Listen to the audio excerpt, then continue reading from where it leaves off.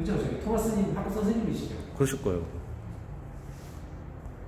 근데 이제 보면은 딱 학교 같은 데 가면 테이블에 네. 저배 하나 딱 있고 사모님이랑 같이 이렇게 앉아 계시는데 보면 참 아유. 나는 이미 적어뒀고 장기를 못 갔으니